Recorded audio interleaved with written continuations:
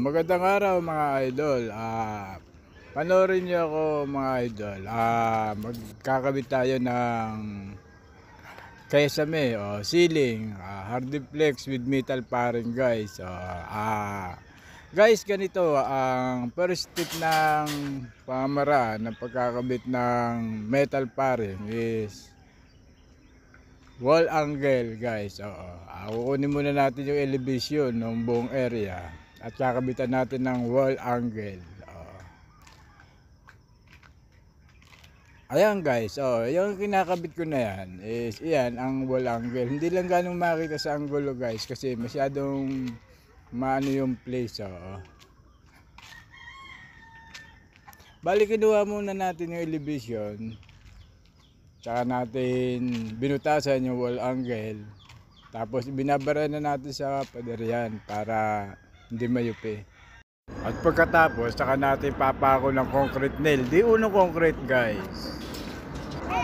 Okay, panoorin nyo to.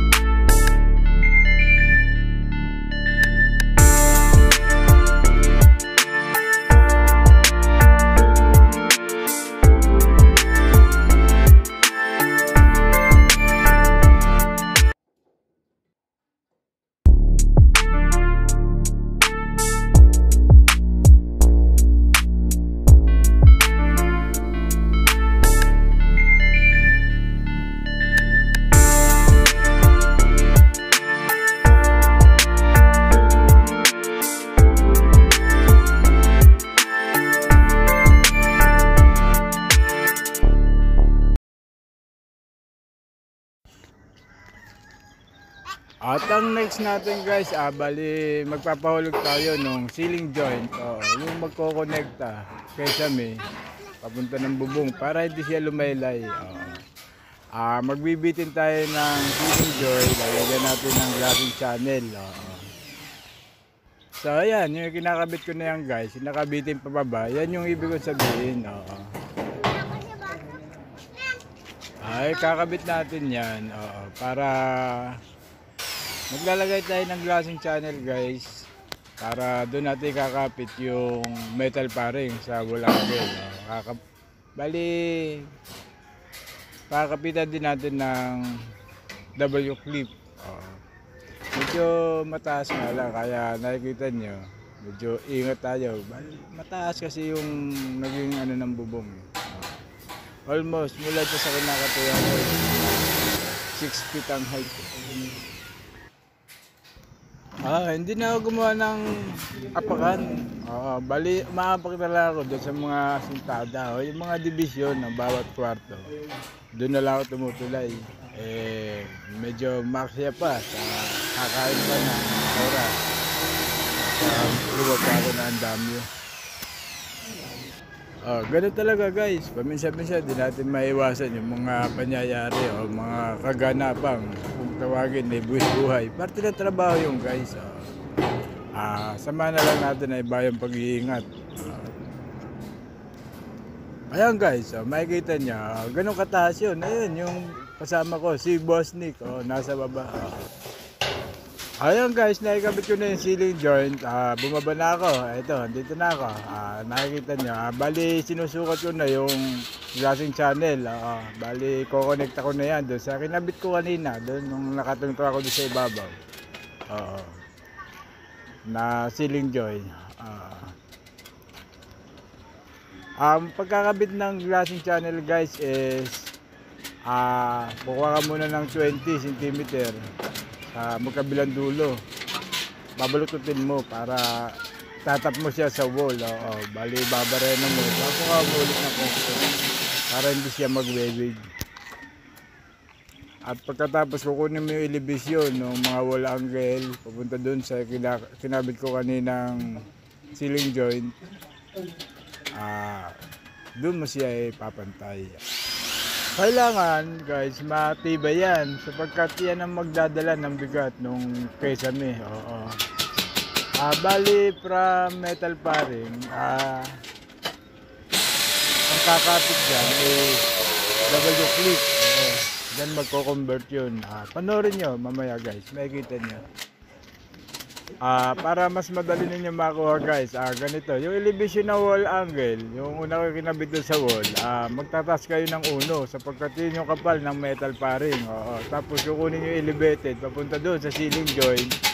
Bali, doon ipapunta yun, yung ilalim ng glassing channel. Oo. Para pagka nilagay mo yung metal paring, eh, pantay siya doon sa elevation mo, yung sa first line ng wall angle. Yes guys, na napakadali lang nito guys. Oh, basic lang to guys. Oh, makukuha niyo to. Try nyo. Ah, panoorin niyo lang to. Ah, makukuha niyo yung mga technique o pamamaraan ng pagkakabit ng hardiplex with metal paring. Ah. So, bali ang next dyan guys is ang layout ng pagkakabit ng metal paring. Guys, ganito, ah, kukunin natin yung sentro, oo. Pagkabilaan dulo muna ng pader. Kukunin natin yung center line niya. Ah, pagkatapos is lalagyan natin ng isang metal paring sa sentro. Oo. Ayan guys, yan yung kakabit natin ngayon, yung metal paring na. Ah, panoorin nyo guys, napakasimple lang. Ah.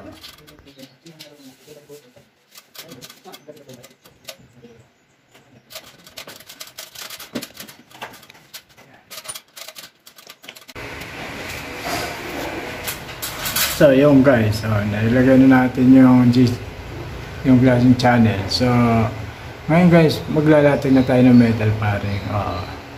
Tinab, ito bali, kagaya ng sinabi ko, ang first niya, maglalagay ng walang guide.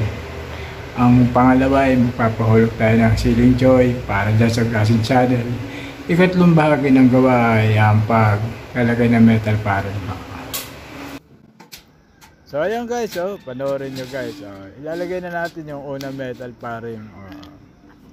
So kailangan talaga guys, naka-sentro yan guys. Wala ang benefits kasi niyan guys, pagka naka-sentro niyan, eh, yung pagdating sa siroho, oo, magiging parehas yung... So bali yung pinakita ko guys, yung hawak kanina, yun yung W clip, yun yung parang ipagkakapit natin, ah, bali pang connector, oo, from metal paring to glassing channel. Oh, yan guys, ah, nakakabit na guys. Oh. Bali, ang next natin gagawin dyan guys, pagkatapos niyan, yung susukatin na nga natin. Oh, ah, bali, 16 inches. Oo, ah, gagawin natin ah, agwat niya. Ah, so yung guys, pagka nalagay na natin center Bali, kukuha naman tayo na Bali, kukuha tayo ng 16 inches. Bali yun ang space niya. Oo. Ah, every 16 inches maglalagay tayo ng other metal paring. Para bali ang sukat ay 16, 32 plus 4 feet.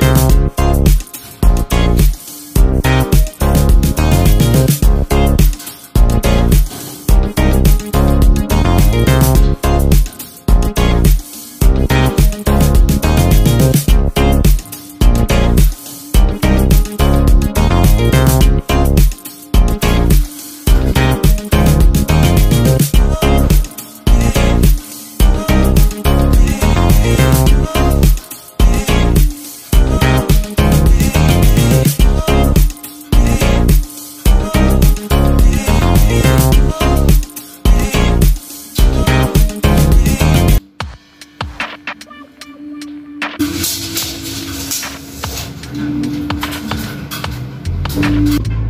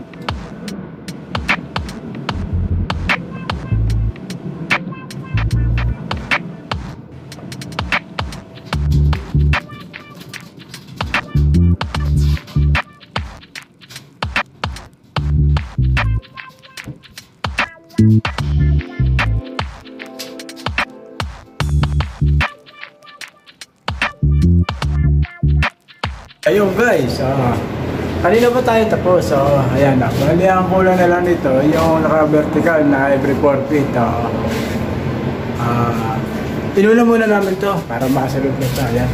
Ayan. Ayan namin uh, susunod namin yung Tinan natin, tirahin natin ngayon guys. Yun, no? Nadadali na rin namin to yun sa may hallway. Uh, ito yung kwarto. Ayan. Okay guys, uh, yun no.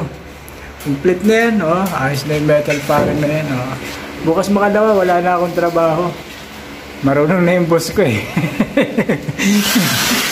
wala na, hindi na kukunin. Oh, yun no.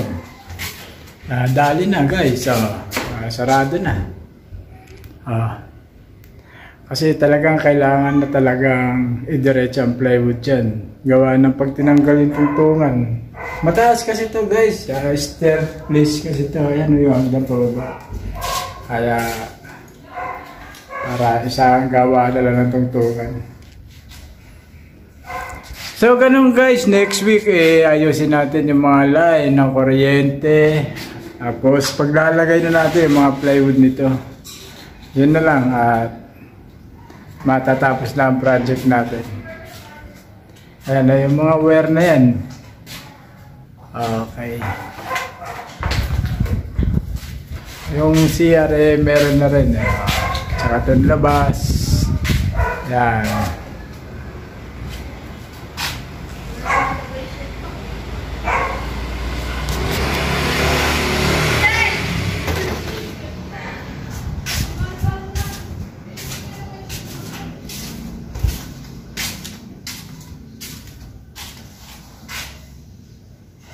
Okay na. So, ganun lang tandaan natin guys uh, sa pagle-layout. Uh, doon sa nauna kong pa-umpisang mga paliwanag. Napakasimple lang. Uh, kaya-kaya nyo rin yun.